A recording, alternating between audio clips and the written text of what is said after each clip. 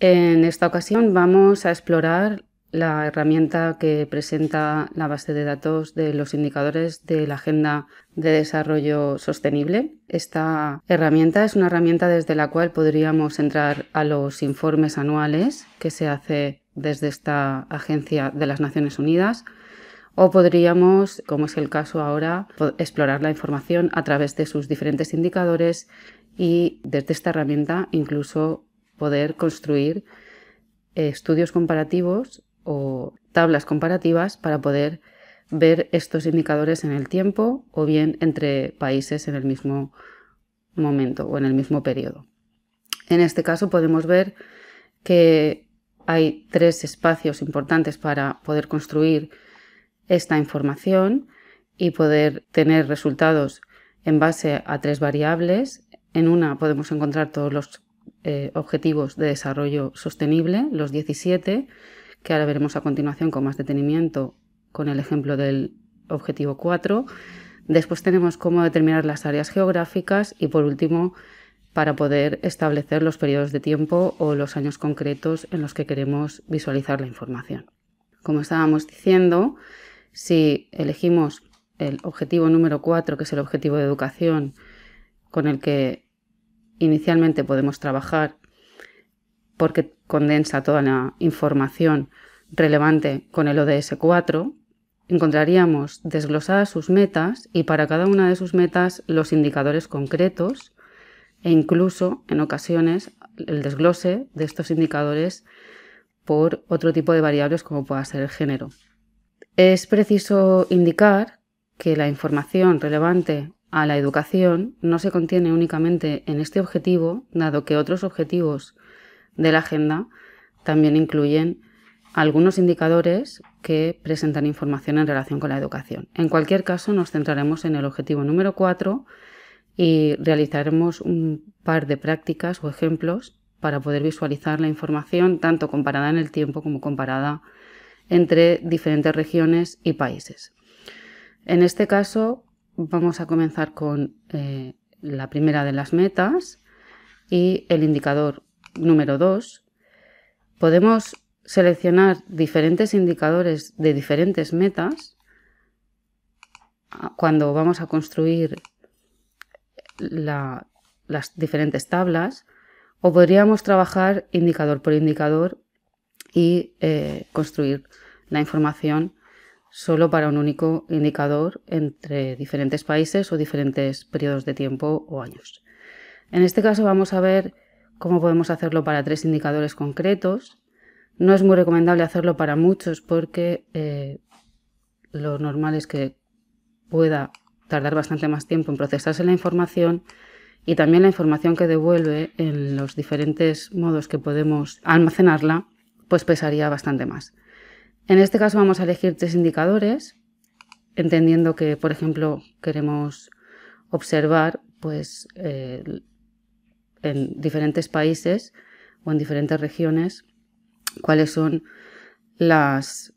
tasas de finalización de estudios, por ejemplo, de educación primaria, secundaria y eh, las tasas de participación en otras instituciones educativas. Y una vez tenemos los indicadores seleccionados, porque responderían a nuestro problema de investigación, iríamos a las áreas geográficas. Aquí es importante que tengamos en cuenta si tenemos interés en tener la información comparativa no solo de países, sino también de las regiones a las que pertenecen los países, porque en ese caso trabajaríamos con agrupaciones regionales, o directamente eh, es más interesante trabajar con países de manera individual o unidades comparativas nacionales, en cuyo caso tendríamos que seleccionar la cuarta de las opciones, por defecto siempre tenemos la primera seleccionada, donde podemos encontrar las diferentes agrupaciones que nos ofrece esta, herramienta. Y si queremos hacerlo entre países, pues tendríamos que seleccionar la cuarta de las opciones y vemos que todos los países están seleccionados, deseleccionar y a continuación elegir los países en los que tenemos interés para esta comparación concreta. Vamos a elegir también tres países, en este caso Brasil, Argentina y Bolivia. Y una vez que tenemos esas unidades comparativas nacionales o regionales, nos iríamos al último de los criterios, que es el del tiempo. En este último criterio veremos que siempre nos da por defecto la selección de todos los periodos desde el año 2000 que se iniciara la agenda anterior, que es la agenda de desarrollo del milenio, y ya tenía alguno de, estas, de estos indicadores y de estas metas, por lo tanto, pues también se recababa información. O podríamos, esta primera acción lo, hace desde el 2000 hasta la información disponible actual, o podríamos seleccionar un rango, que es lo que vamos a establecer ahora, por ejemplo, desde el año 2015, que es cuando se inicia la agenda actual hasta ahora. Bueno, en este momento tendríamos seleccionado tanto las series de datos que queremos seleccionar, con los indicadores pertinentes de las metas que nos interesan, las áreas geográficas y los años. Y podemos, tenemos tres opciones, podemos o en ese momento mostrar la tabla o descargarla o si por alguna cuestión hubiésemos tenido algún, alguna información errónea y, y queremos volver a construir esta selección, pues le daríamos a reset. Cuando le damos a mostrar tabla, esto puede demorarse unos segundos, por eso es recomendable trabajar con menos indicadores. Lo que nos devuelve la página ya es en sí mismas las tablas construidas. En este caso podemos observar que hay información que no está recogida, por ejemplo, en el caso de Argentina, y para saber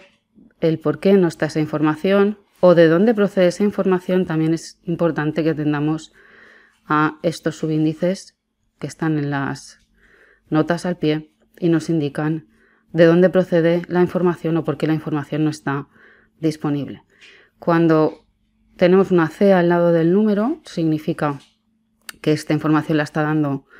el país de manera ajustada o menos ajustada pero a veces la información puede proceder de otras entidades y puede ser estimada también, o se puede haber hecho estimada en relación a los años anteriores o las series de años anteriores. Otra opción es que no esté disponible y bueno, también tenemos eh, las opciones de que la información no sea relevante, con la cual pues sería mejor no trabajar con ella o que la naturaleza de esa información no sea lo suficientemente fidedigna. Podríamos en este caso ya descargar únicamente esta tabla que corresponde a un único indicador y si queremos visualizar el resto de las tablas solo tendremos que pinchar en el título del indicador en concreto y nos mostraría las siguientes tablas. Una vez que tenemos la tabla con ella no podemos ya en la interfaz trabajar, pero sí que podríamos descargarla en Excel. Una vez que tenemos la información y podemos visualizar la información, eh, vemos que en cada uno de los indicadores podríamos descargar las tablas en formato Excel para poder trabajar con ellas. Como hemos dicho antes, en función de si la información que nos devuelve es relevante y fiable o no lo es. Eh, pero también podríamos simplemente visualizar desde la interfaz para hacer un estudio preliminar de esa información la progresión de esos datos en el tiempo. Normalmente la mayoría de indicadores en educación suelen venir desglosados por el sexo y hay otros indicadores en algunas de las metas específicamente que también incluyen otro tipo de variables como pueda ser la localización geográfica, si proceden de áreas rurales o urbanas, la edad eh, u otro tipo de, de variables. Este es un ejemplo de cómo podríamos visualizar los datos para los tres países seleccionados, en este caso, Argentina, Bolivia y Brasil, y poder estimar si esta comparación sería interesante o podría ser de interés para responder a una pregunta de nuestra investigación. Como hemos dicho antes, siempre tenemos la opción de atender a los informes que la propia agencia de los Objetivos de Desarrollo Sostenible elaboran las Naciones Unidas y que presenta cada año en diferentes lenguas, pero esta herramienta nos permite trabajar de manera más autónoma e individualizada las informaciones. Y por último, también tenemos en esta interfaz eh, información complementaria para poder responder a dudas o preguntas en relación con las, con las herramientas que presenta la interfaz y las posibilidades que presenta dicha interfaz, así como el repositorio de metadata o incluso si solamente trabajáramos en el estudio de caso de un país, los perfiles que elabora la propia agencia individualmente para cada, cada uno de los casos nacionales. Y esto es todo. Esperemos que esta información sea de utilidad y os pueda ayudar a responder preguntas en vuestras investigaciones comparativas.